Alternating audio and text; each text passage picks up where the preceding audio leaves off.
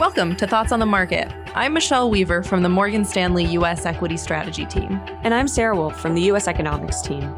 On this special episode of the podcast, we're taking a look at the state of the U.S. consumer as we approach the mid year mark. It's Tuesday, June 6th at 10 a.m. in New York. In order to talk about where the consumer is right now, let's take it back two and a half years. It's January 2021, and households are slowly emerging from their COVID hibernations, but we're still months away from the broad distribution of the vaccine.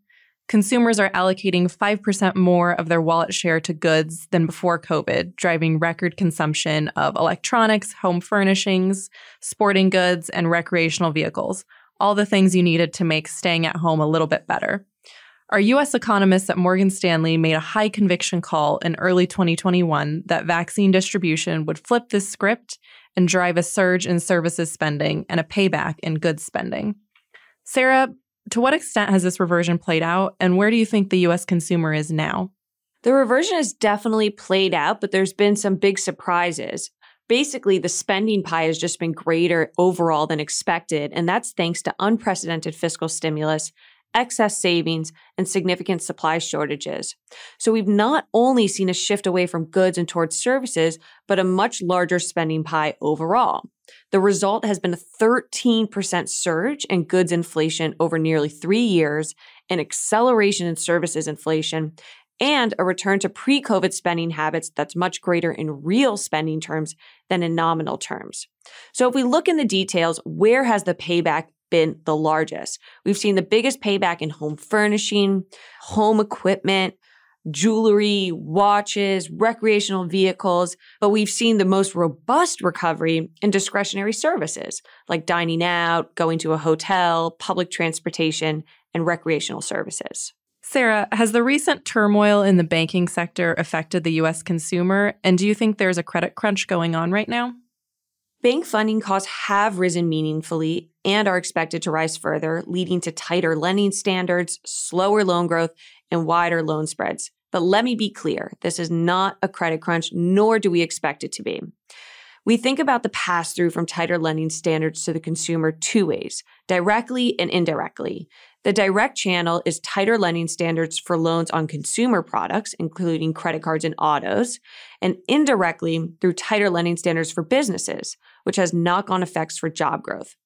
We've already seen the direct channel affect consumer spending the past year, as interest rates on new consumer loan products hit 20 to 30 year highs, raising overall debt service costs and forcing consumers to reduce purchases of interest sensitive goods.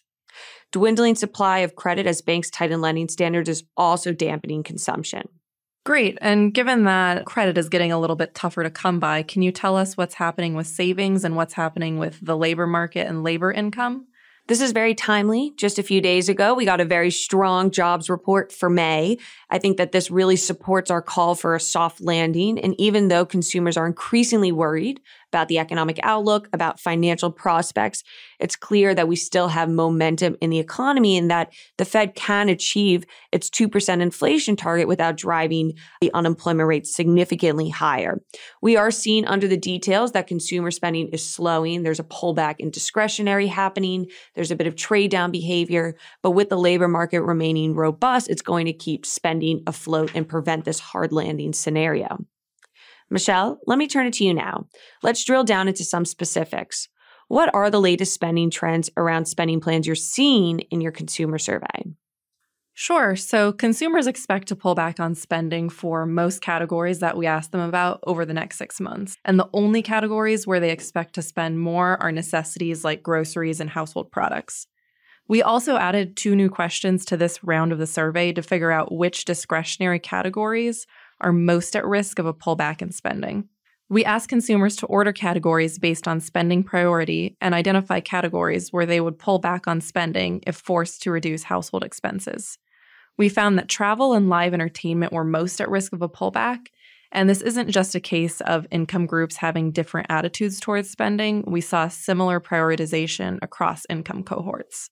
So, you mentioned travel. Travel's been in a boom state in the post COVID world. But you're saying now that households are reporting that they would pull back if they needed to.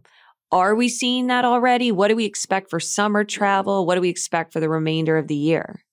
So, the data I was just referencing was if you had to reduce your household expenses, how would you do it? And travel was identified there. So that's not a plan that's currently in place, but summer travel may be a bit softer this year versus last year. In our survey, we asked consumers if they were planning to travel more, the same amount, or less than last summer. And we found that a greater proportion of consumers are planning to travel less this year. Budgets are also smaller for summer travel this year, with more than a third of consumers expecting to spend less. We're seeing a mixed picture from the company side. Airlines are seeing very strong results still, and Memorial Day weekend proved to be very strong. But the data around hotels has started to weaken, and the revenue per available room that hotels have been able to generate has been pretty choppy. And forward bookings that hotels are seeing have actually been flat to down for this summer. Demand for resorts and economy hotels has fallen, but demand for urban market hotels still remain very strong. Sarah, how does this deceleration in both services and goods growth play into your team's longstanding argument for a soft landing for the economy? It's really the key to inflation coming down and avoiding a hard landing. With less pent up demand left for services spending and a strong labor market recovery, supply demand imbalances in the services sector are slowly resolving themselves. We estimate that there's a 0.3 percentage point pass through from services wages to core core services inflation throughout any given year. Core core services is services excluding housing inflation. So, with compensation for services providing industries already decelerating for the past five quarters, we do expect the largest impact to core services inflation to occur in the back half of this year. So, that's going to see a more meaningful step down in inflationary pressures later this year. This combined with a rising savings rate, so a shrinking spending pie, means that there's just going to be less demand for goods and services together this year. Altogether, it will enable the Fed to make progress towards its 2% inflation target without driving the economy into a recession. Sarah, thank you for taking the time to talk. It was great speaking with you, Michelle. And thanks for listening. If you enjoy Thoughts on the Market, please leave us a review on Apple Podcasts and share the podcast with a friend or colleague today. The preceding content is informational only and based on information available when created. It is not an offer or solicitation, nor is it tax or legal advice. It does not consider your financial circumstances and objectives and may not be suitable for you.